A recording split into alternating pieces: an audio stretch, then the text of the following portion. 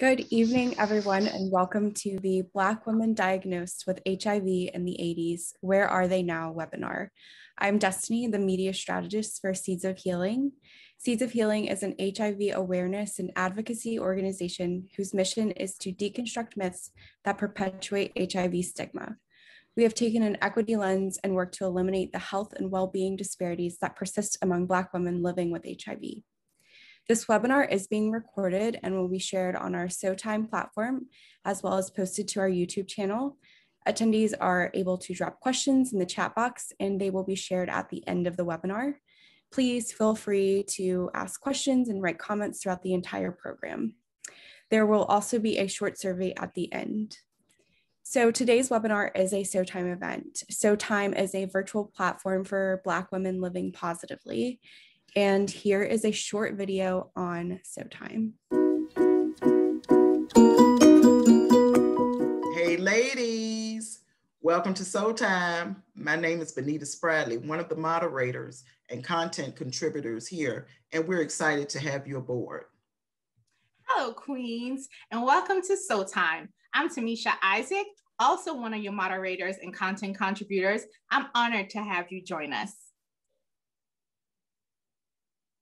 SOH Time is a platform for Black women to connect across the US to provide tools for self-care and encourage consistent adherence. SOH Time is a platform for us created by us to collaborate and center issues that affects Black women, the struggle causes by a diagnosis or chronic illness. We have groups with specific topics to cater to the mission of SOH Time, but uplift, empower, and strengthen you as we power through on this journey. Surrounding yourself with women that look like you in a safe space where you are free to be yourself while learning from each other and sharing resources that can enhance your way of life on the course of this journey. We are here for each one of you. We welcome you and we look forward to networking, supporting one another, and learning new things as we come together on this SOH Time website. Welcome. Welcome. So, a quick introduction to our panelists today. We have Pat Kelly. Patricia Kelly is a native New Yorker who resides in Orangeburg, South Carolina. At 67, she is aging gracefully and gratefully. She was diagnosed with HIV AIDS in 1985 1998. She's founder and executive director of a family affair, Living Our Best Life. HIV AIDS ministry at Victory Tabernacle in Orangeburg. She is a mother, grandmother, and great grandmother of eight. She's a member of various local and national HIV advocacy groups across the United States, and she has been honored by 2020 Leading Women's Society of Sister Love, Inc., first class of 2009. In September 2014, she received an honor from Positive Living Conference as the first Black woman to receive the Martin Delaney Power of the One HIV AIDS Advocacy Award. As a common threader, she had the honor of being the first US group to make red ribbons for Levi Strauss World AIDS Day, and under the micro enterprising of Common Threads, had a booth at International AIDS Conference in Durban, South Africa in 2016. She has many affiliations, local, regional, and national. Her personal motto is, I live to serve, as I serve others, I serve myself. We have Lepena Reid, who is a role model of universal hope and healing, diagnosed with HIV in the late 80s. She's demonstrating that you can overcome health challenges, improve your quality of life, become resilient, and thrive. Working with individuals, groups, and women at every stage in life to assist them in building confidence, accelerate the liberation of Black cisgender women's human rights, and create a fulfilling life. The founder of Ask a Survivor's Keys, she has the role of connector and her Red Ribbon Earwear project does that by developing healthy conversations, increasing awareness, and providing support to the HIV community. She's a certified trainer and educator in HIV awareness and prevention. She co-facilitates a national virtual support group for cisgender Black women and collaborates with organizations in Florida and nationally. A dedicated member of several advisory boards and an honorary member of the National Black Nurses Association in Tampa chapter, Lepena penned a collection of poems entitled Angel and Divine Service and recently had the honor of being featured in the 2021 issue of POZ magazine, celebrating the accomplishments of Black advocates. And we have Ashley Daniels, our moderator, who is a Southeastern North Carolina native with a background as a community organizer in environmental justice, social, social justice, and grassroots electoral politics. She is the owner of Speak Life Consulting and works part-time at the LGBTQ Center of the Cape Fear Coast as the operations and programming assistant. Without further ado, I will turn it over to our lovely panel, and I hope you all enjoy this program. Thank you, Destiny. Again, my name is Ashley Daniels. I'm really proud and excited to be here. Um, and just wanted to start with what we know about narratives. Um, sometimes if we hear a dominant narrative in the media, we might believe that that is the only narrative. Um, at the onset of HIV and AIDS, uh, the HIV and AIDS epidemic, um, the dominant narrative was that the only people impacted were gay white males. Um, this narrative, of course, disappeared the lived experience of entire demographics, especially the lived experiences of Black women. So I feel very honored and um, uh, deeply proud to be here today to uh, moderate this conversation between two Black women who are leading and thriving as survivors. Um, so I want to welcome you, Miss Lepena um, and Miss Pat. Um, really happy to be here. I think the uh, approach that I'll take is to um, alternate uh, who I start questions with. So I will start the first question with you, uh, Ms. Pat, and I'll say, what was happening in your life during the 80s before you were diagnosed? Well, um, before I was diagnosed, I had returned back to college and had made up my mind that I was going to go to law school, had gotten the LSAT, was studying it. And then um, a situation happened and I ended up um, being incarcerated. And during my incarceration, that's when they um, tested me for HIV. And I came and I found out that I was diagnosed. The doctor diagnosed me and told me that I had AIDS. Don't tell nobody.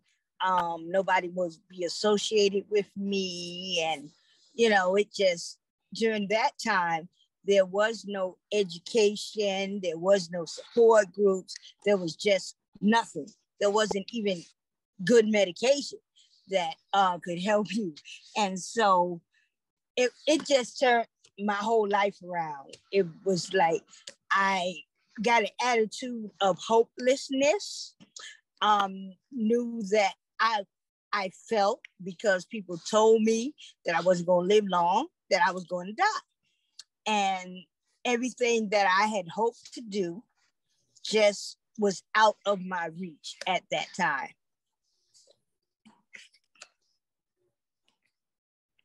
Yeah, thank you for sharing and really glad that you're here today, um, despite all those things that people told you. Uh, what about you, Lepena? What was happening in your life during the 80s uh, before you were diagnosed? Thank you, Ashley. And I want to thank um, Seeds of Healing for inviting me here today. So in the 80s, I mean, I was about 32 or so in uh, 1988, and that was a disco. That was a disco time for me. Disco music was live and living. And um, some of my favorite artists, of course, was Donna Summers, Patti LaBelle, Whitney Houston.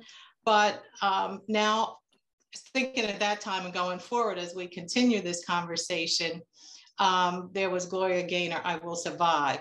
But then there was this other song, which uh, I don't know really any of the other lyrics except Staying Alive, Staying Alive, Staying Alive.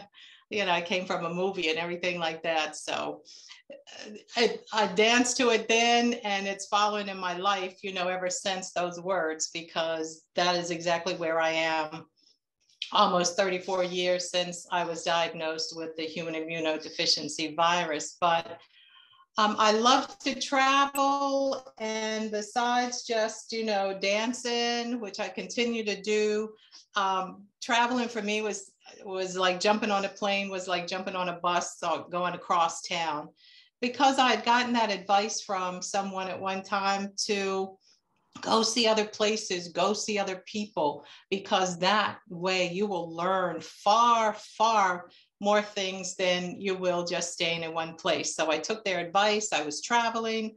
Um, and also the work that I was doing, then I was in uh, production stylist for film, print, and set. So that's really was my um, occupation at that time. And, and I freelanced, so they gave me the opportunity to be able to travel like that. And uh, that was really the 80s for me at that time before um, my diagnosis. When I did, when, when that came right off, um, I started um, I started uh, giving support to the community, just like Pat said. Uh, it wasn't really for Black women. Uh, we thought that for sure all you heard in the news was, you know, gay men. But needless to say, I had friends and family who were affected with that. So I began um, doing red ribbons just so they would support respite homes and it would bring food and monies, you know, because uh, it was needed at that time. And oddly enough, I'm going to hold one up just in trying to throw out some of my memories and things that I was going over the past. I found one of the some of the one of the original ribbons and stuff that, uh, and I don't know if holding it up, you know, and and even the cord of it is really rusty and old at this point. But that was, you know, just one of those ribbons. And as I even hold this up now, those those times and everything really set strong for me. So yeah, that's the 80s. Thank you. Uh, the second question that I'll ask, can you remember when the news dropped about the signs and symptoms that we now know to be HIV and AIDS? And at that time, what were your thoughts about what you were hearing? Um, and I'll start with you, Rufina. Well, you know, like I had, you know, just finished saying it, it there, there weren't women really named in, in the equation at all. It was known as when it did get a name, um, gay, um, related, gay related um, immune deficiency GRID. And and so I, I, know lots of women and lots of people really felt in that this is you, this just affects one population and community alike, but it didn't, and uh, and we we found that out as as I mean I found that out personally for myself, but we found that out as time goes on that just as uh, women now and especially Black women aren't recognized and put in the equation, that still stands for today. Thank you. Thank you. Um, Pat, I will ask you the same question. Can you remember when the news dropped about these signs and symptoms that we now know to be HIV and AIDS? And what were your thoughts at that time? And I think that we might have uh, lost her for just a moment. Well, and I can even go on, you know, with other, um, because it's, you know, and many times people still might not remember the history or weren't born to know the history, but there were um, there were messagings from science and medicine that said that there would definitely be a vaccine for this virus in the next two years, which seemingly this was, you know, the 80s and that vaccine hasn't come to point yet. And uh, you know that is something that's really disappointing we look at we look right now at covid and covid even some of the um, applications uh, from hiv um, cells and all were used in covid-19 and sars. And so when are our vaccines coming you know when when? So many times now it's uh, people are saying that hiv is lost and forgotten. They're not hearing about it anymore. And so as I uh, think about some of those signs and symptoms, you know, 40 years ago, uh, we haven't even matched that to this point in 2022. But then we began to hear there wasn't really even uh, when when Magic Johnson, you know, when they spoke of Magic Johnson when he came out, that's when even for the black population did you begin to hear anything. But again, women weren't included in that. Yeah. So um, to continue on that point about what you were saying when um, when you first heard from like the scientific community, it was still being like there was a narrative that this only impacts the certain demographic of, of gay males. Um, how long after that initial announcement of HIV um, that came out like through the scientific community, came out through the media. How long after that announcement were you diagnosed, and how did you come to find out? Well, the year was 1988 for me. I, I, I only imagine just like these ribbons that I found, you know, some things, and then remember now my age is, you know, I'm going through my uh, 60th chapter of life. So um, a friend said that they were going to the Red Cross. They were going to go get tested. They were dating someone, and they thought that um, she maybe made that suggestion because um, heavy uh, works were coming out of the CDC in Atlanta, Georgia. And I think at one point, people even had to carry cards that showed that they had a negative test. And uh, so he, they were seeing someone, and they said, "Go with me down. You know, I'm going to go test." So uh, when they, I went with them, I decided that I would just go ahead and test also, since I was there. And during those times, it wasn't, you know, a rapid test. It they was a blood draw, and you for two weeks, you had to wait until you um, would get your return diagnosis. And you had to go back into they they didn't you know take your names or anything. You were just a long number or reference. So when i went back um, the, the person that I went with, I think theirs went fine and they came out looking, you know, sort of, oh, well, okay. And then I went in and I remember, you know, the, um, the, the young man that was there to, you know, to give me the results and all, he, he just, he was so nervous. He was so shake, shaken and everything. So it came to that he said, your test is showing that you're they, it came back positive. And you know, he began to cry, you know, as he looked there. And so he's like, I, you know, I don't know. I don't really know that I believe this. Uh, maybe you want to test again. There's something known as false positive, which false positive is just sort of a coding that um, they do. And and I was like, well, it's been two weeks already. You know, I don't really, uh, I'm not really going to go through that again at this time but I use that reference, you know, that he became so shaken by the whole thing and to say, you know, you don't, it, this doesn't look like this affects you. You don't look like it. And that's been a bit of my story. And I will continue to share that as we talk that um, there's, at that point in time in the 80s, yeah, there was certainly a look to if it was an uh, acquired immune deficiency diagnosis of AIDS but um, all the time you don't walk with those letters on your forehead to look like that. So that is how I learned of my, um, you know, my diagnosis, and and that is um, that's what I did in the first place. So I let it go for a couple of years since I wasn't going to go back and test at that time. That two year, that two week um, period really is straining and emotional and uh, and so in 1992, I went back again to a new sort of clinic that had opened up.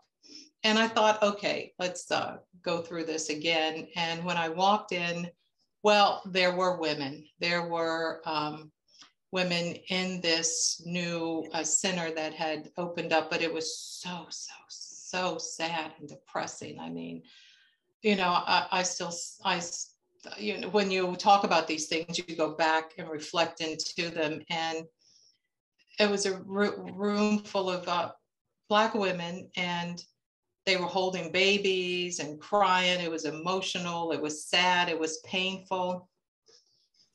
And uh, I just said, no, no, that song came back to me again. Maybe not at that point, but I'm going to stay alive. I'm, I am going to stay alive. I don't know how.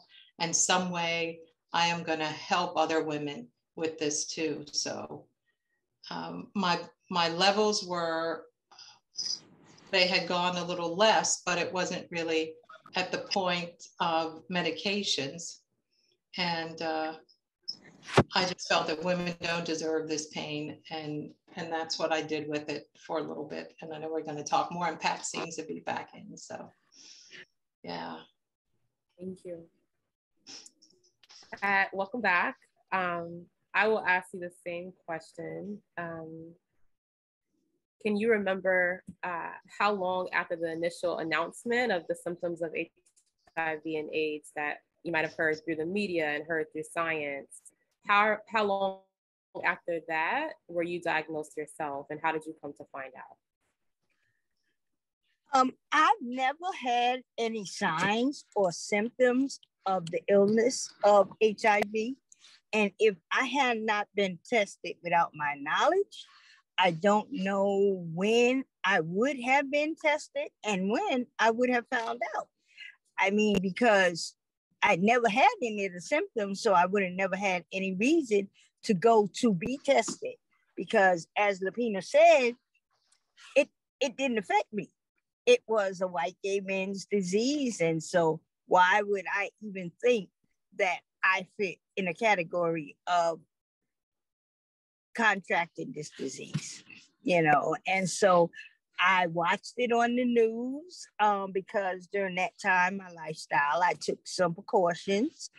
And when I was told initially, I didn't believe it. I went to be retested, um, and I was. Um, I always felt as though the medications that they were giving us at that time uh, they were using us as guinea pigs. So I refused to take the medicine for many, many, many years. I was diagnosed in 1985. I didn't start taking meds until 1994. And um, the only reason I started then was because my T cells had gone down to such a low level. And, you know, I in some therapy and counseling. They said if I wanted to live because the um, stages, you know, they told me about. Now I was living with AIDS, and to be re-diagnosed was just like the first time all over again. I was re-traumatized so many years later, almost 10 years later, after the first diagnosis. And so I really wasn't in care for about 10 years. I did therapy, you know, I didn't have any signs or symptoms of the disease itself, but I was emotionally drained and really at a very bad place that had no place for the medicine. You know, what was going on in my head was far worse than anything that they could say in the media. Um, and it took me a while, you know, through therapy to be able to accept who I am. And before therapy, it was a support group that helped me to accept my diagnosis and believe that I could live again. Because during that time, it was nothing but death. If you went to the clinic, um, at that particular time, I was in South Carolina, and they had a night clinic, and the clinic was like at six o'clock in the evening. So if you wanted to find out who was living with HIV, all you had to do was ride by the clinic and you see people going in and out and you knew that that was the time for the clinic and people looked like death. Yeah you know they were really not identifiable as who they were before they contracted this disease. So for the signs and symptoms you know i listened to a lot of news which um, we all know that uh, false news you know as science has evolved I remember when they said that if you were a person diagnosed with HIV, your life expectancy was 10 years because uh, within 10 years you would have AIDS and you would die. Well, here I am 38 years later, and obviously that science was totally false. They also said that uh, if you were in a relationship with somebody that was living with HIV, you had to um, protect yourself if that was your partner, that you would reinfect each other. And we also know now, U equals U, that, you know, if you take your medicine and do things you need to do to continue to keep yourself healthy, you can't transmit this disease to anyone else. So as science evolved, education evolved, and we became more knowledgeable about things and listening to false news really had an emotional effect on me. So um, I had to learn to reinvent myself to be who I was with a diagnosis. But all the news and media did was really scare me. It scared the bejesus out of me. You know, it scared me to the point that I couldn't touch nobody, you know, because of the ignorance. But then I finally, after about nine years of being that, I was like, okay, wait a minute, I'm still here. Okay, uh, I didn't hit the 10 year mark. I'm still here. Now it's time for me to live my life instead of thinking about dying. And if I'm going to live, I'm going to help another sister live also. And that's what I've been trying to do because that uh, false news um, really, really emotionally has us stuck in stigma right now. So many people are stigmatized internally that they can't begin to accept um, this diagnosis. And with that being a problem for them individually, it continues to perpetuate the stigma. Thank you. Um, I think you both have touched on this um, at, different points in some of your responses, but uh, Pat, I know that you're talking about when you were first diagnosed, um, the way that the doctor came and told you and like advised you to like not tell anyone. Um, and I know that that's some of the ways that people have found out information have changed behaviors over time. So uh, the question that I would like to ask, what was it like back then to have a positive diagnosis, right? Both from like medical staff, from family, from friends? Um, and also what did doctor's appointments look like at that time? Um, I'll, I'll, start with you, Lucia. Well, um, I'll just continue on uh, with that comment. And as uh, Pat had had said um, when I what I was just sharing with those women in the you know in the clinic in the waiting room looking in despair and pain and hurt but with that examination and and that day in the clinic they told me that I had fibroids and that these needed to be removed so made the appointment, went to the hospital to get it done. And seemingly, many of the women, if not all of the women that were in that same room that day with me in that clinic, they were all there at the hospital to um, to get uh, probably the same procedure of uh, fibroids. And fibroids, they say, are common in Black women, but I look at, you know, um, the MSH as it is now, molecular HIV surveillance and data collecting without um, our consent and the security that we could be, I apologize for that, and the security that we could, um, our information could go public, which could cause HIV um, criminalization. So it almost put us in a place of feeling like, for me, of the Tuskegee experience experiments and all because all of us were in this clinic and then all many of the women if not all of them it still looked like the same packed room like the clinic that we all had this appointment to go to the hospital and get fibroids. So they possibly at that point there could have been other testing and things that were going on that they didn't make up us aware of at all. So as much as I believe in um, clinical trials and research, and I want that for women, I don't want um, these surveillance testings to uh, cause any more triggers and traumas and criminalize people. So that's on the page right now. Back then there were there were lack of services, case managers, and like Pat said, the amount of medications, you know, it was 30 or more a day. I couldn't see myself doing that. I just could not see myself, you know, taking all that medication. So I had to push back, just as Pat said, for about 15 years before I went into the hospital. And re-traumatized again with a um, diagnosis of acquired immune deficiency with a CD count of less than eight or so.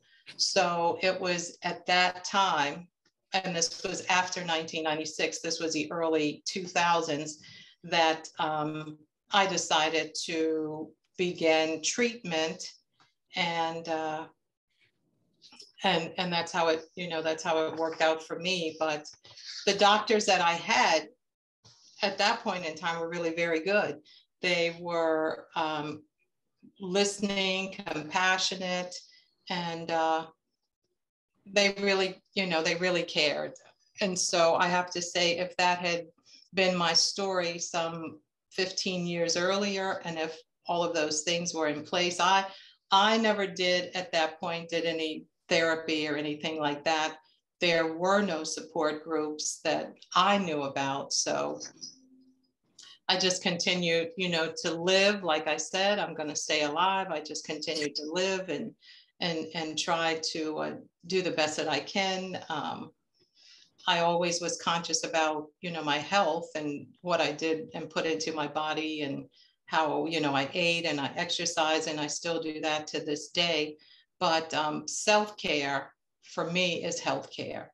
So um, what what they were really telling me at that point wasn't enough. So um, the medications are better now and, and, all of those things. So I started. And uh, I just say that with the doctors, now you really have to be regiment with them. I have a good doctor but things that are happening at this point, they want you only to have a 12 to, 12 to 15 minute appointment. You have to have all of your um, talking points and places in order because if you're not being authentic and and doing your homework about your health, if you're waiting for a doctor to do it, that's not going to happen. Thank you. Uh, I'll ask you the same question. Um, what was it like back then to have a positive diagnosis, both from family, friends, social groups, as well as um, doctor's appointments, and what that treatment looked like? It was scary. It was traumatizing. It was debilitating um, as far as trying to live your life. Um, you were put in a bubble, you know, um, you were set aside from the other people because the stigma was truly, truly real.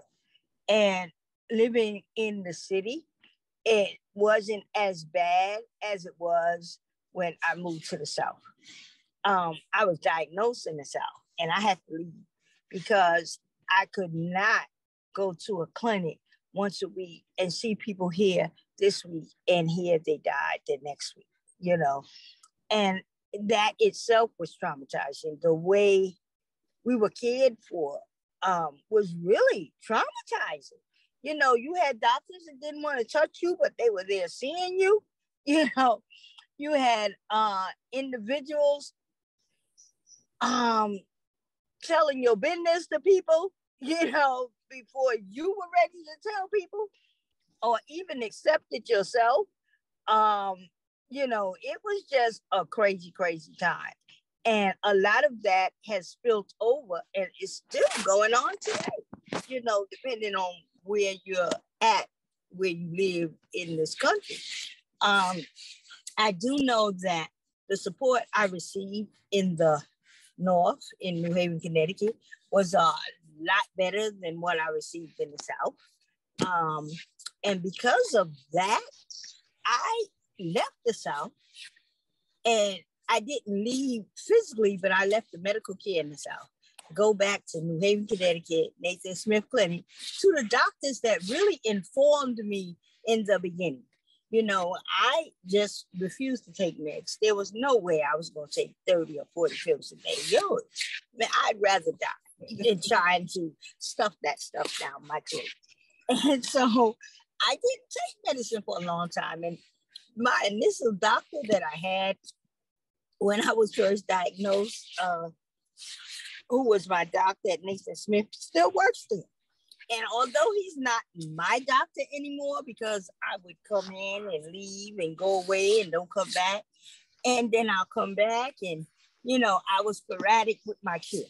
I did not do the things that I needed to do to continue to keep myself healthy. So I know that I am a walking, talking miracle, and God is still alive because here I am 38 years later, about to be 39, and I am still alive, thriving, and living my best life. You know, at 67, about to be 68.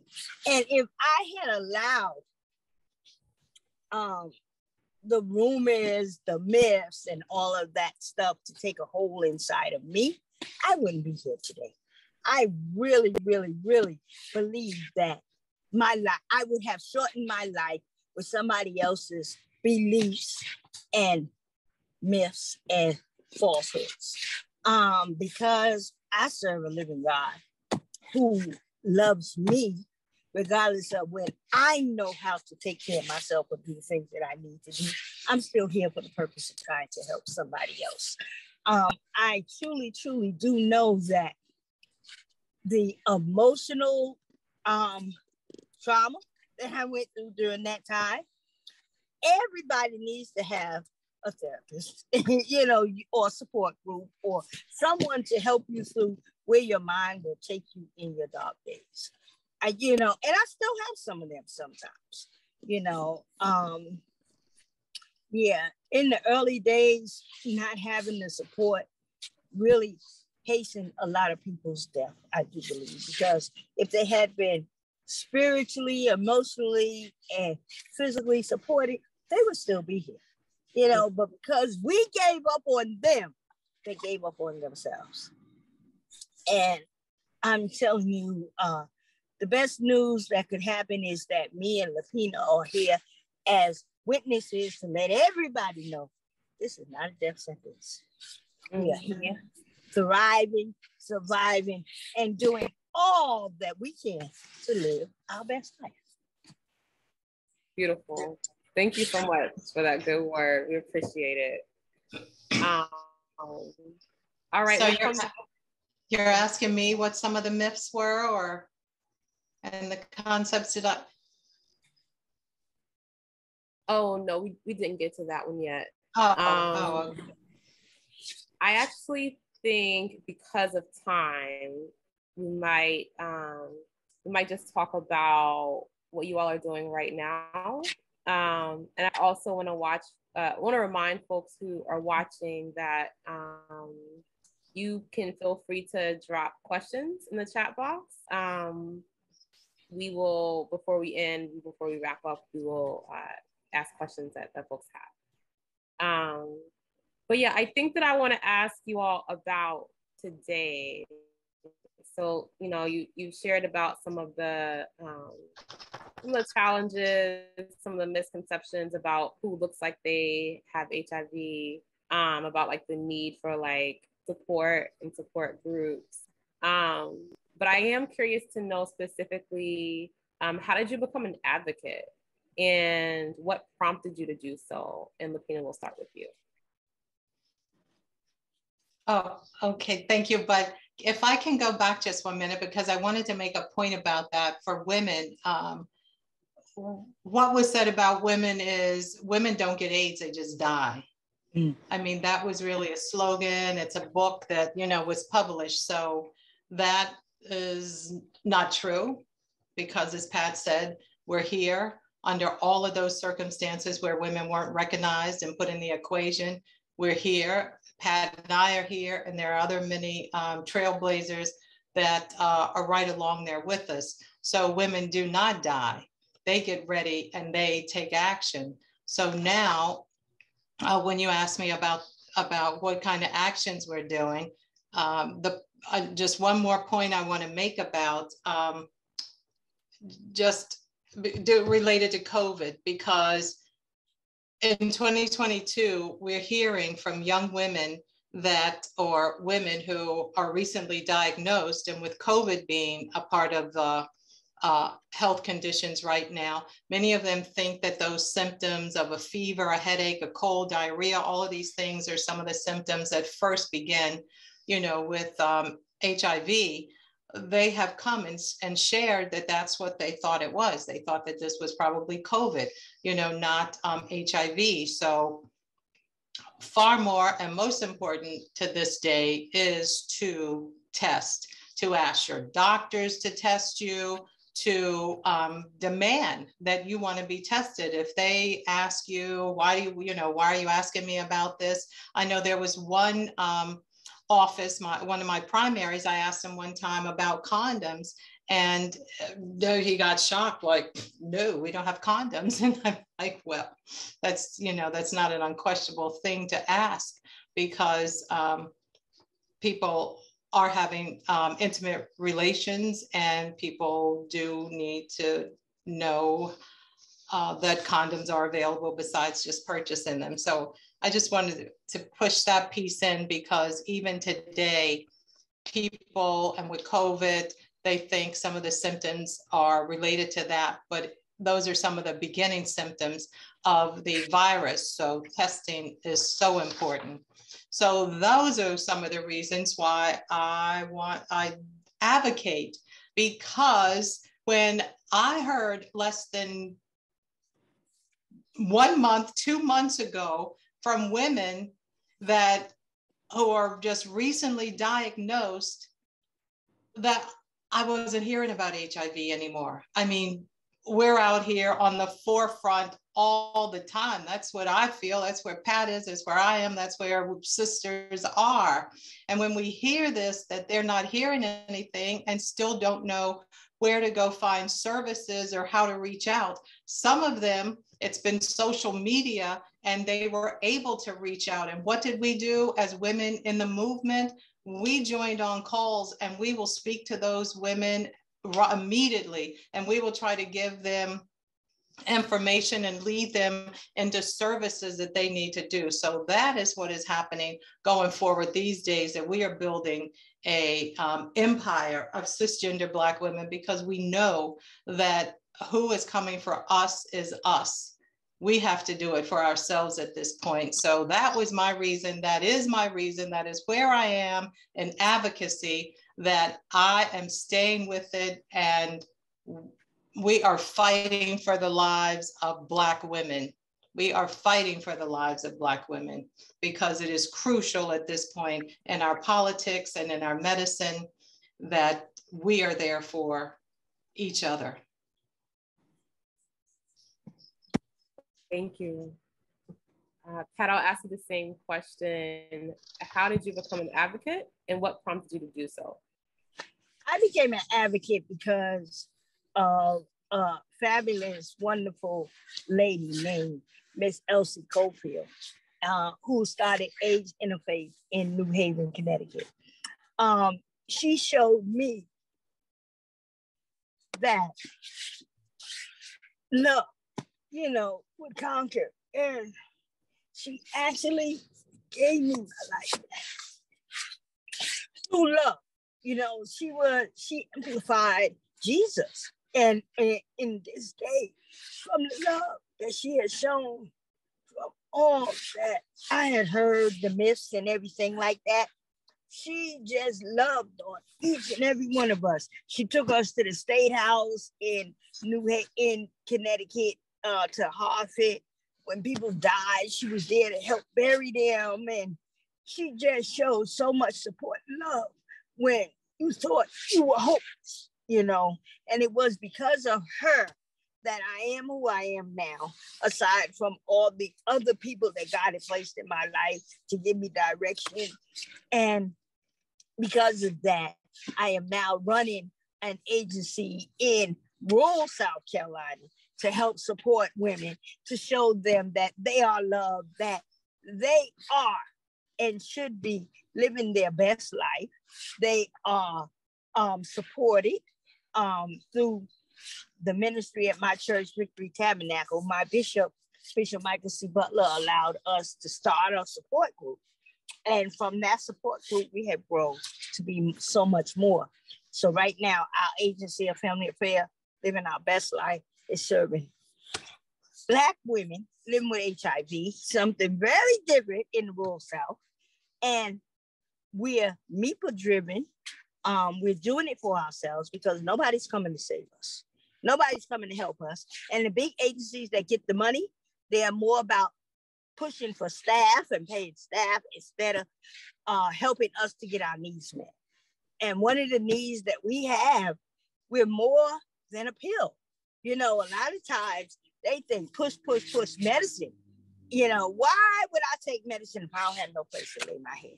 Why would I take medicine if I have to walk around lying and hiding about my disease? Because nobody's going to want to associate with me. I have hopelessness and there's nobody to help lift me up. I thank God so much for Miss Cofield because she gave me a hand up. You know, she reached, she lifted her hand and she just amplified Jesus. You know, she just amplified that love and through her and the things that she did to help bring me back to life. That's my desire to help Black women in the rural South begin to live and not feel that internal stigma that directs their life. You know, that trauma really, really, really puts you in a place that sometimes you want to take your own life because you're in so much pain from thinking your mind that took you to a place where nobody else could take you. And try to pull them up out of that because I've been there, you know, and um, I just want to be able to show them there's a different way. And so we've been lucky enough to be funded to do a lot of things in the South right now. Um, we have a group that we have on Mondays, first Mondays called Affirmation Mondays.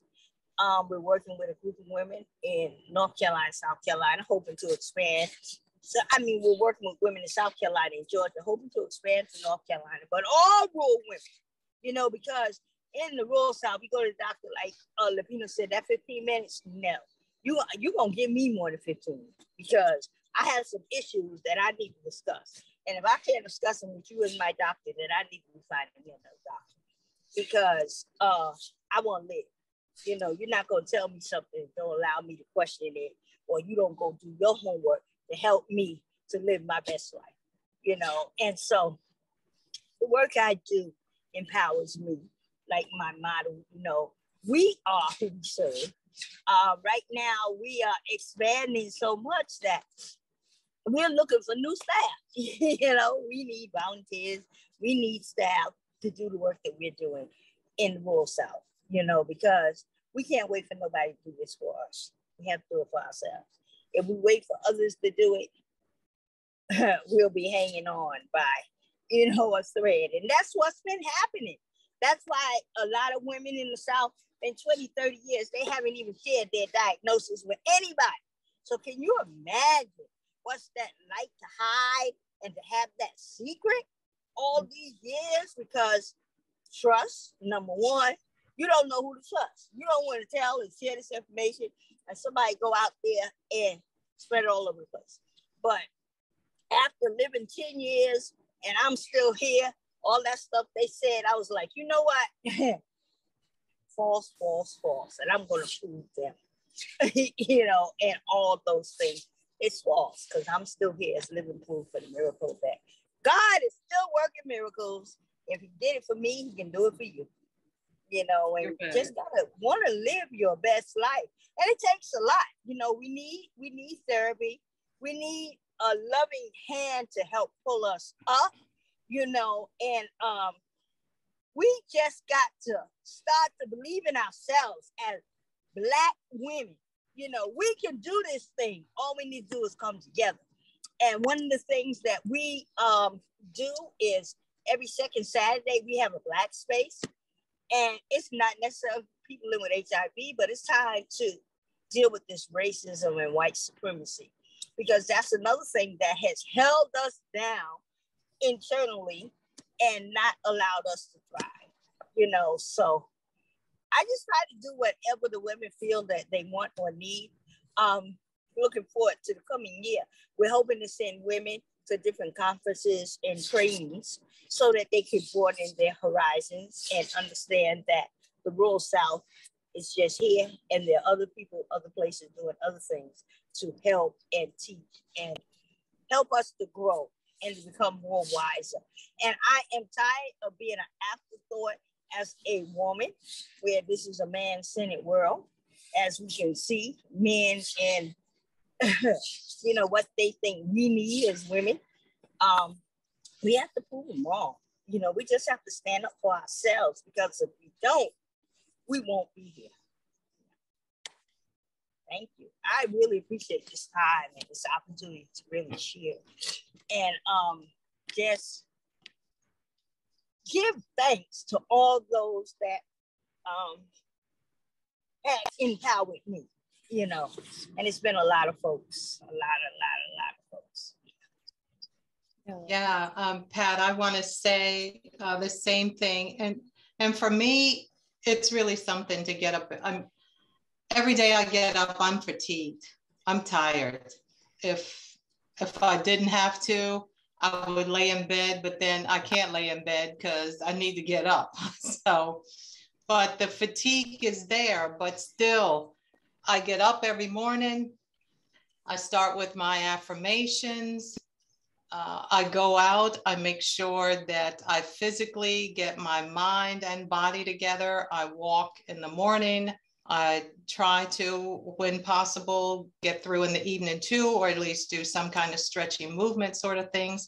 That's a um, activity that I do with women that I have been doing for the past 10 years. I do it at conferences. I now do it locally with centers and I, you know, I do it um, with groups. Just um, initial how do you get moving? How do you move your body? Because it's important. These medications are toxic and for pat and i to say that we didn't start begin taking them for some time but i'm already 20 years into the time that i've taken them and so i plan on living 20 30 years from now and what will these medications do to our bodies they are going to break them down along with the other co- comorbidities that come along with aging. And all of the uh, young women are finding themselves with heart conditions in their early 30s. So I look for research. Uh, you know, I want to really start a petition. I have been going on this for the past uh, couple of years. I want to start a petition that we let the uh, scientists and med- medical community know these medications are putting excess weight on us. And that's why I have to exercise all the time, change my diet. Of course, you know, as you age, you need to change your diet anyway. But um, I put on 30 pounds. That wasn't a cause of me. I love cake. I wasn't eating cake that much. So, you know, I don't know. It was happening. But I have at this point reduced um, 25 of those pounds, but it's not easy to do. And then uh, with the comorbidities, besides diabetes and our uh, fractures and all of these symptoms that are coming down the line as we age. And, and we are beginning to have to be co-caretakers for other people in our family, our partners, our husbands, our grandchildren, uh, other family members, and other friends. So this is a, a heavy um, responsibility that we have as we're aging. So, and because we didn't think, or people didn't think that we would live beyond six months, two years, longest 10 years, many people did not um, set in place how they were going to age, how, where they were going to live, if they had any money, if they were going to be isolated. And we know with COVID in itself, isolation can be a factor too for stress and for um, feeling lost and um, no hope. So as we age with this, these are other things that we have to um, bring attention to because it's real, we're aging, and uh, these things have not been set up. We're the first generation of this virus.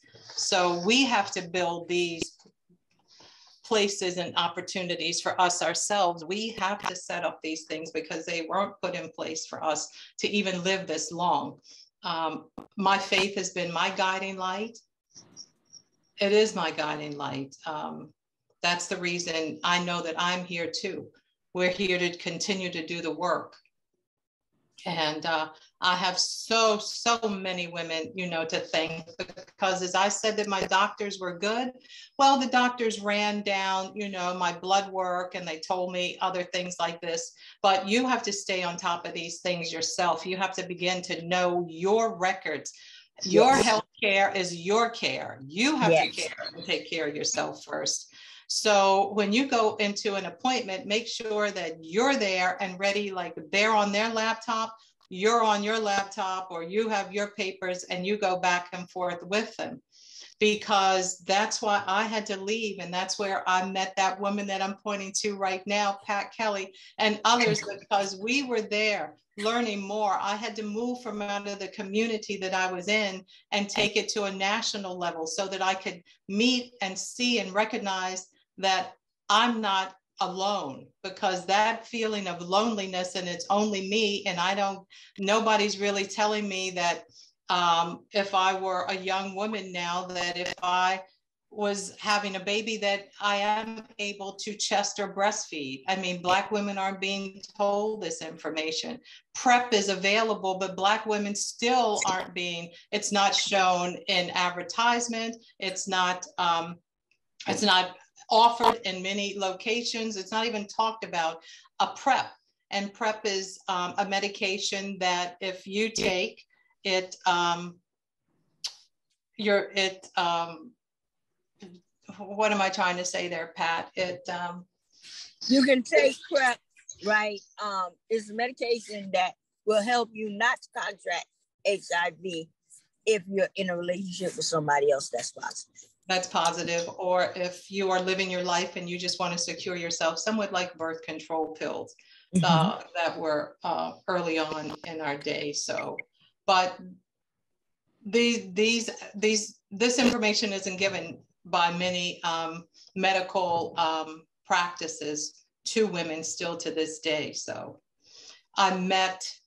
I, be, I started with a support group, and one of the ones was a local one, and there um, those local women just um, just motivated me to go to reach further. And so organizations like Seeds of Healing, Positive Women's Network, uh, Common Threads, um, ICWNA, they're out there. Look them up, get in touch. These women will connect with you and talk to you.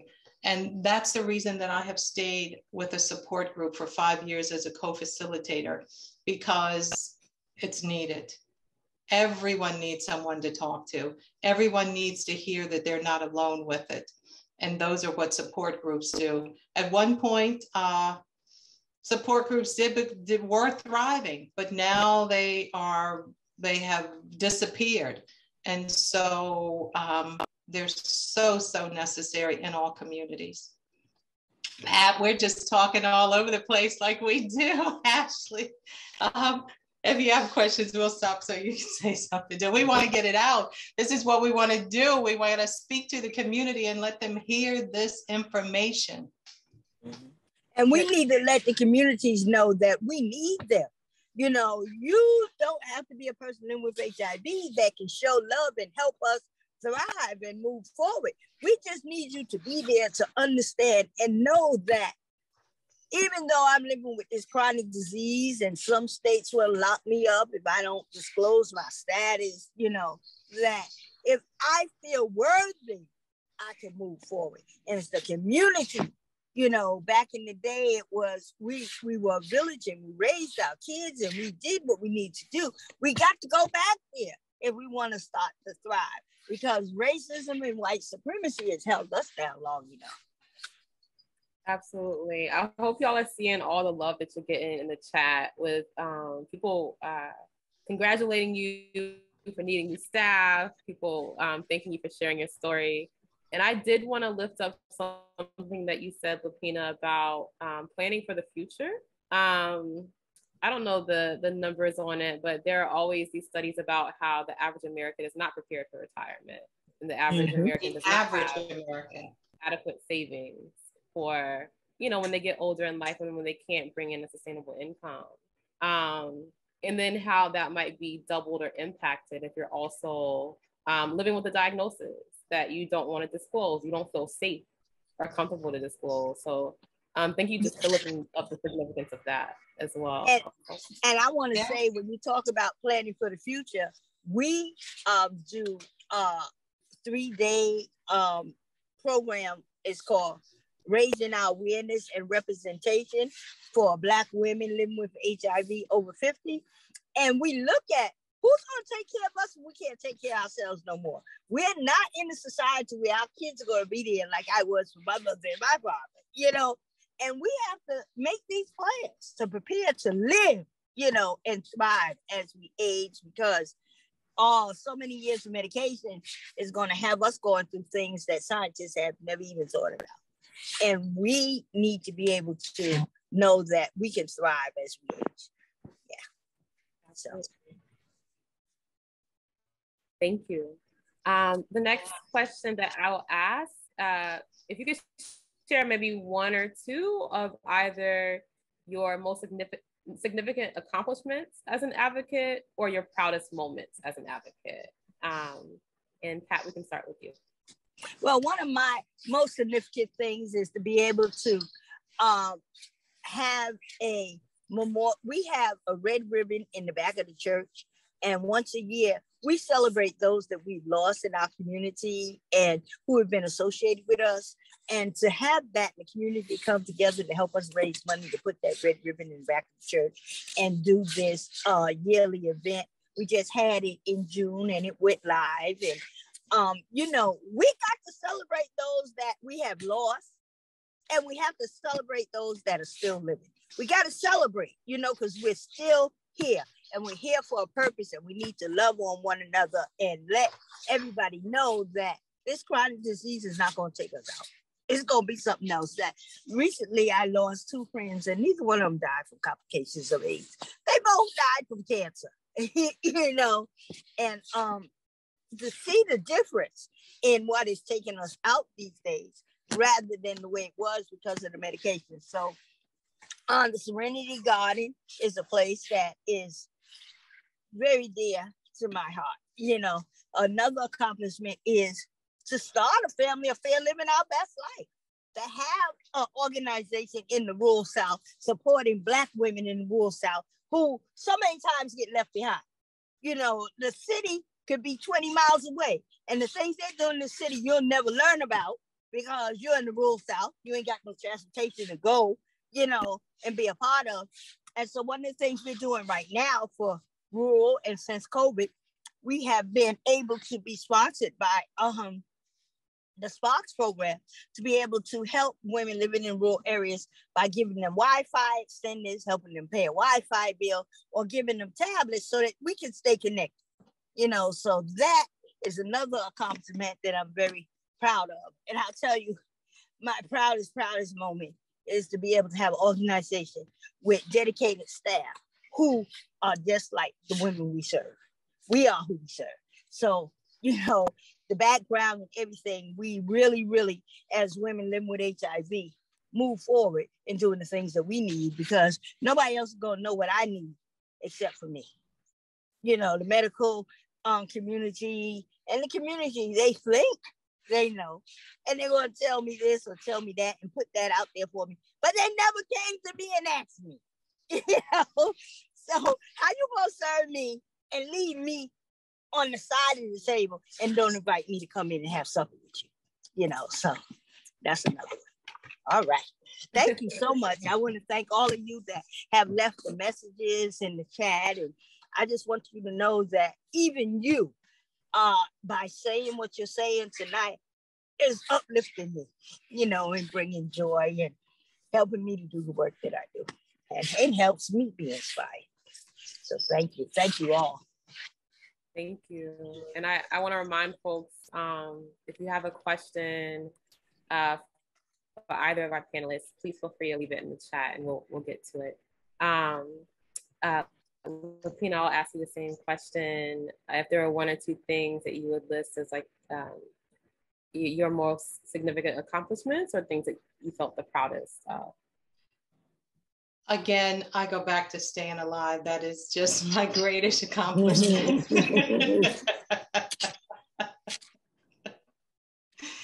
and I tell you, when I started this evening, you know, uh, everyone that's out there, I sort of shared with everyone that there gets to be a point and at my time of the day that I just laugh or I get the giggles or something. And and laughter has been a huge healing factor for me. Hmm. Laughter is a full releasement of any sort of pressures and things that you might be feeling. I use that as a healing source in a big way, and and I use it still today. So staying alive and then being able to have the support of my family, the support of super warrior sisters like Pat Kelly right there. she is energy beyond. She just moves and shakes. So, and to know the many, many, many other women that are out there, you know, uh, if I begin to, you know, like an award, if I begin to speak everybody's name, it would go on and on and on. I never knew that I could meet a thousand women who were living life like I was, 2,000, it might be 10,000 women now, you know, and uh, we all uh, have the same, uh, you know, we come with where we've had the hopelessness or or feelings of not desired or wanting to give up, but we don't. So it was really one real accomplishment for me because I knew what I felt his pain and I knew what he was going through as a young boy and being hated and discriminated and uh, stigmatized and all was Ryan White. And when I got to meet his mother, um, Jenny, um, that was just, that was really a moment in a time for me because as a mother too, I've felt her pain before when we, when I knew the story and I felt the pain that she, you know, had to have. But for someone like this, those services that mark his name, Ryan White Services, have helped, helped, helped so, so many um, in the community. So that was one thrilling accomplishment to um, when you meet people face to face. And Pat, I remember uh, one time when we were in Washington and we were just in a hallway by ourselves, and there was a family of Elizabeth Taylor, and that was impactful too because you your spirit runs through the spirit of others and and what they have put out and what they're what they gave and and what they believe so and then to each to every every uh, sister that um, have come across and come into my life that's a big accomplishment. And i talked about the i, I write a little. I write and i have written um, several pub and i have several writings and i have um, published in others writings. So those are accomplishments for me because I started with, I do affirmations every morning too. And um, affirmations get me going. And I know there was one sister at one time that said, Lepena gets these little pieces of paper and she gives them to people, and people just enjoy them so much. And so, as much as I enjoy giving them to them, um, and I enjoy what myself receiving them and having them uh, and using them. They're all over the place for me that I use affirmations, which help to build me, support me, and uh, give me a strength as I read them. And then, uh, as I said earlier, I started with the red ribbons, you know, and, and I and I showed you all one that I had from almost 40 years ago. And, and even when I touch this, you know, I know the the energy that it carries because it was, you know, the love for those that felt less than and felt that no one cared about them and and and they were they were str- trying so hard to you know to hold on to life and and then maybe life had left them, but their lives stayed with me, you know. So those are many of the people who have gone beyond and before but I still hear their voices when we go to the halls of Congress and things like that. They're the ones that push me and say, go up there and go, go do it, you know? and uh, so I didn't really create, you know, the red ribbons came out uh, uh, earlier from a, a community, uh, a quilting community, sort of like Common Threads, Mark Hoppel. Uh, they really saw the red ribbons in and creative, but, but now I have the hair ribbons, you know, or the ear ribbons that I wear. And I see so many uh, women who use them and, and wear them and represent them well when they go out into the community because they open up an immediate conversation. You know, we as women, we wear our jewelry, we're, we're fashion. So people look at your face and there the ears right there, the earrings right there on your on your ears and right at your face. So it's a place where you can begin a conversation about um, HIV, about testing, education, and awareness. And really, it is about awareness and it continues to be about awareness. We have to continue speaking and talking about it. And we have to let our families know, those who have families that are resistant to them, we have to know that love succumbs all of these other things. This is a medical condition, a health condition. It's not anything that you want um, someone who is already feeling bad from the diagnosis itself. You don't want to really kill the soul because you are discriminating or, or stigmatizing for somebody who just happens to get something um, that maybe you were lucky enough not to get. But health conditions come in all kinds of different um, letters and words. It's just which one did God place on us and how are we going to work through it? Thank you. Um, someone just put in the chat that um, every time I hear everyone's story, it makes me stronger to fight for everyone and everything. So great, I want to cry. Um, just want to echo like listening to you talk about the ribbon and walking the halls of Congress and hearing people's voices.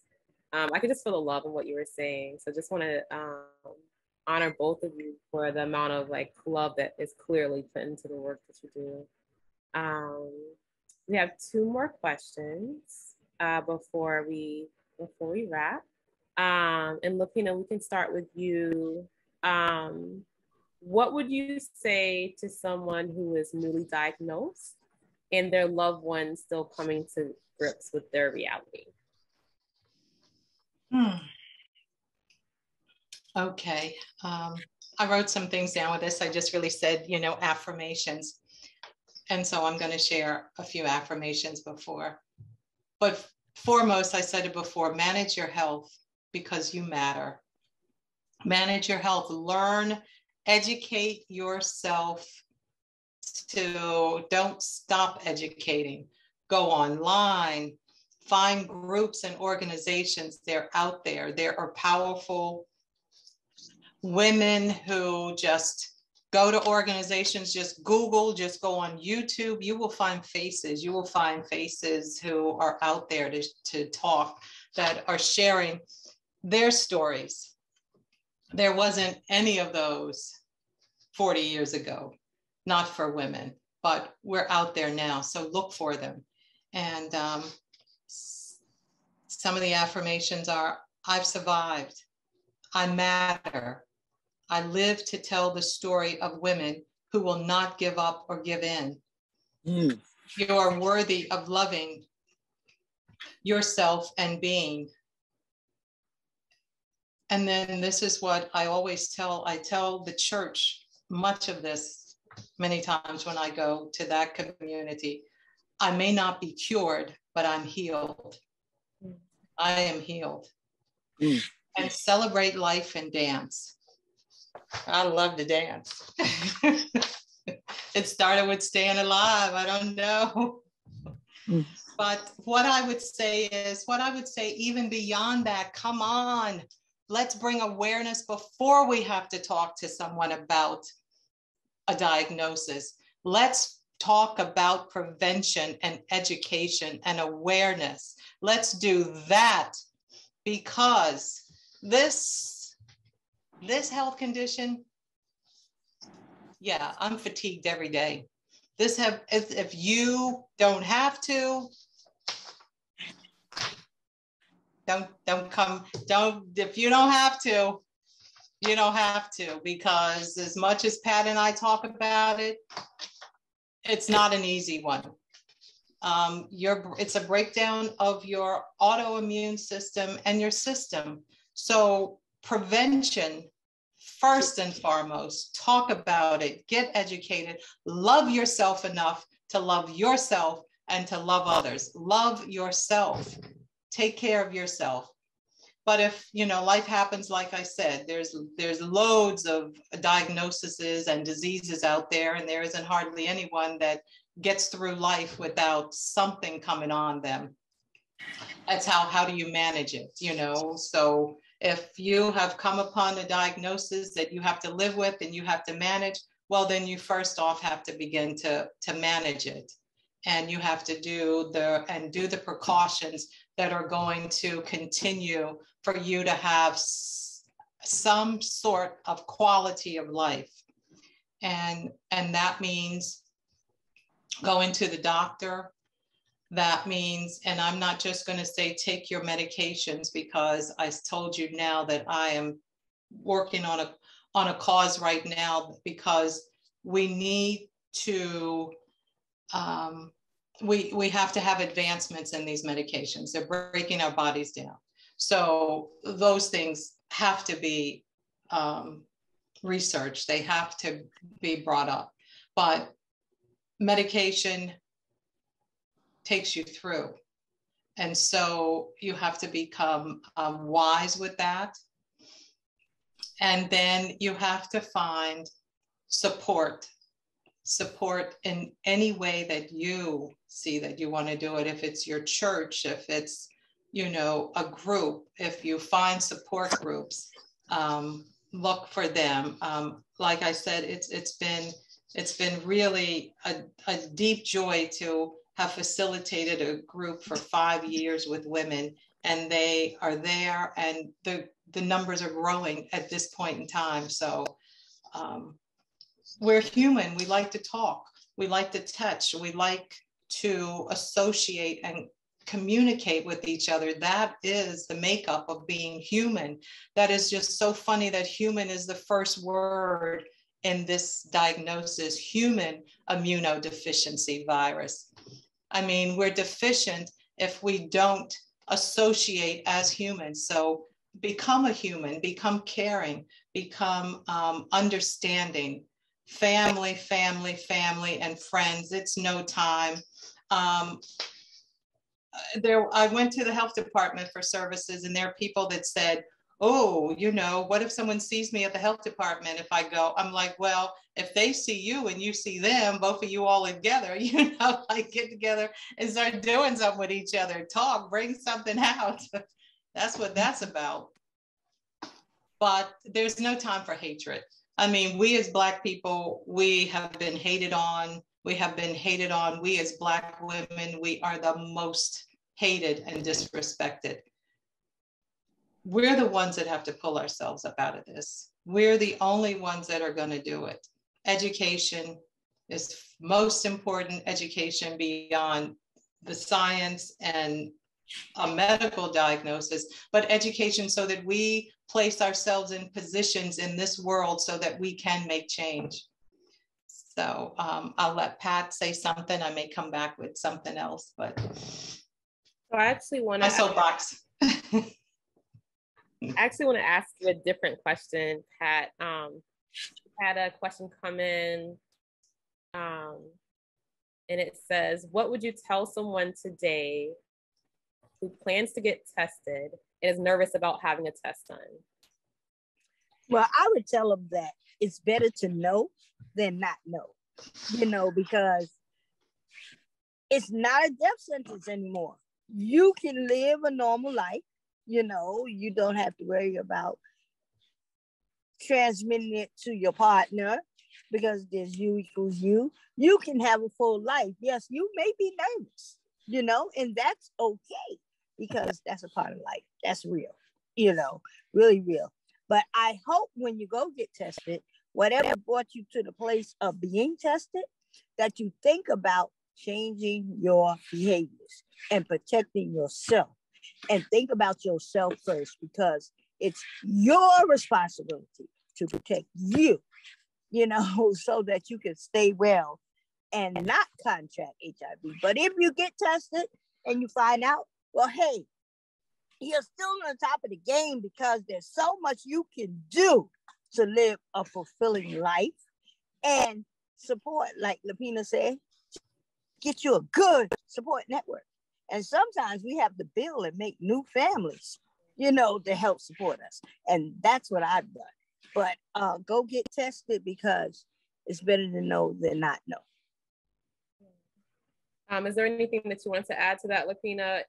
If uh, what would you tell someone today who plans to get tested and is nervous about having a test done?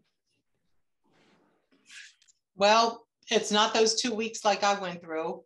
And then that's, that was really hard because we were being told, like I said, if you find out you're going to die. No, those, that's not the option these days. But I we mean, all got a status. I want to know. I mean, I want to know if I have high cholesterol, if I have thyroid, if I have um, kidney or liver disease. I want to know these things. So I go and I take tests. And a test is a way that you know.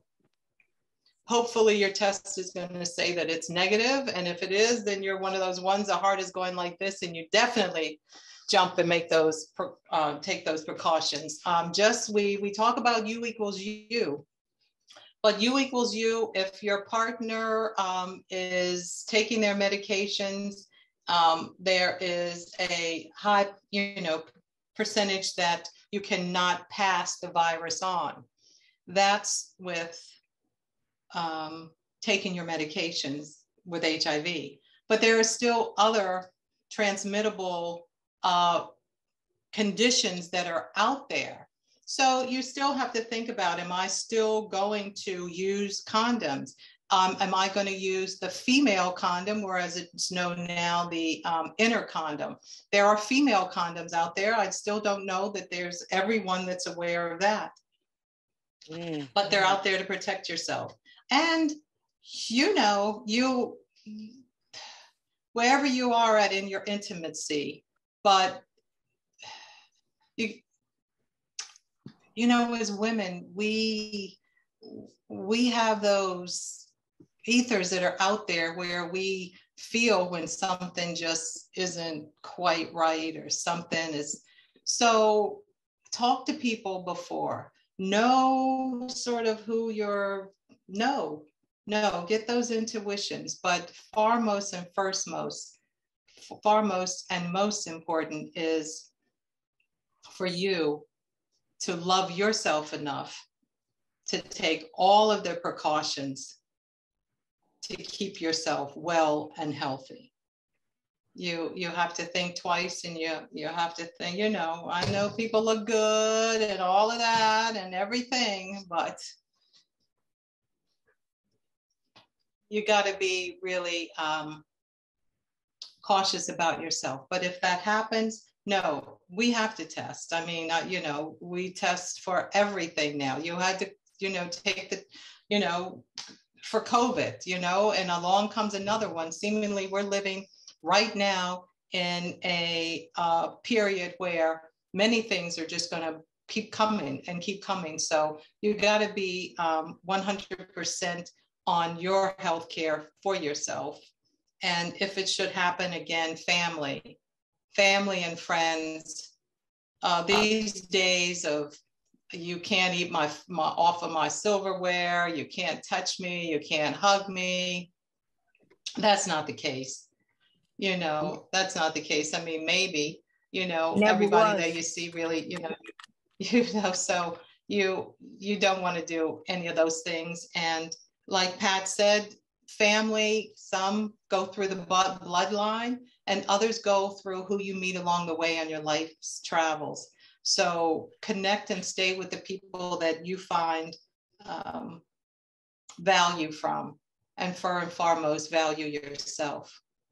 Thank you so much for those. We're gonna wrap up um, before we hand it back to Destiny. Um, and did want to note for our media strategist that there's um, someone that's having some difficulty with the survey. So hopefully we can get that worked out. But if we don't, we will email that to everyone to make sure um, everyone has had a, a, chance to fill it out. Um, and just to give a, a brief pin, uh, the survey asked how you found out about this, um, how effective it was, what kind of information was useful to you. That information helps Seeds of Healing to plan for future panels. It also helps us to communicate the work that we do to people who are seeking resources and support from. So um, it's incredibly valuable for that information to come. Um, the last question that I want to ask you both, uh, for people who are wanting to follow your work, how do people um, find you? How do they follow you? Um, Pat, we can start with you. Well, um, I'm on Facebook as Pat Kelly. I don't go there often, but our organization also has a Facebook page and it's called A Family Affair Living Our Best Life. Um, we have a website, A Family Affair Living Our Best Life.com. And um, uh, yeah, just well, I don't mind uh sharing my personal information. You know, if you come to me on Facebook, I would do that in Messenger. And, you know, many days it's just you need to connect, you know. So if you feel you want to connect with me and I have some resources I can share with you or just having a moment of talking, I don't mind. I'm here, I'm available. And if something is going on and I'm not available, I'll make myself available. you know, because I know what the need is and how important it is. And before we leave, there are two women I want to shout out. Um, and one is Janet Kitchen for the great work that she's doing in Florida as a Black woman, um, making things available for other Black people living with HIV. Because, like I said, we got to do it for ourselves. And then Monica Johnson in Louisiana, who was the first one way, way back you know, the things that she does for her community. Wow. You know, it is, I've been to one of their retreats and it was phenomenal to my heart. You know what I mean? To see someone being able to lift a person up, you know, and we just got to remember to love on one another and do what we have to do because you can Google me, you know, I'm around in all different arenas and different things. So please, please, please, if I can help you in any way, just let me know. But know this, I don't have no money to give nobody. I don't make no loans. Thank you. Tina, how can folks find yes, you? Yes, you can find me on social media on Facebook. Uh, my email is ask underscore lpr at msn.com because I'm serious. I'm ready to start that petition to um, science and medical um, community about um, medications and how they're causing some of these symptoms.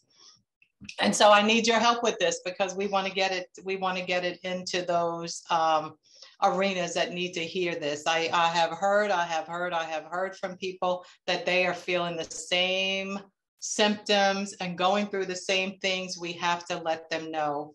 And um, you, you can find me on many, you can find me on a family affair. I'm sure I have something there, common threads, positively, positive women's network. Um, many, many of those um, arenas you will find information about me. And of course you just Google, but reach out. That's, that's, uh, that's what we wanna do. And remember life happens and you can choose the way you manage it, you manage it from each day, each week, each year, and you can make a difference in this world and make every every day count because for 40 years I, that's what Pat and I have felt. I know it. I know it one day at a time. And here we've made another one today. So, yes. Amen. And I want to do one more shout out, and that would be to the Common thread is I'm on my way to the International AIDS Conference right now to go to the marketplace. And a part of Common Threads is entrepreneurship.